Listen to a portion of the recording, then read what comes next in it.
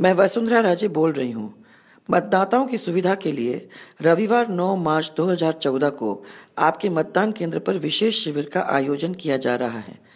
इस दिन प्रातः नौ बजे से सायंकाल छः बजे तक संबंधित बीएलओ मतदान केंद्र पर मतदाता सूची की प्रति के साथ उपस्थित रहेंगे। आपसे अनुरोध है कि कृपया आपके मतदान केंद्र पर आयोजित विशेष शिविर पर पहुंचकर अपना व अपने सभी परिजनों का नाम मतदाता सूची में होना सुनिश्चित कर लें, क्योंकि बदला है राजस्थान, अब बदलेगा हिंदुस्तान।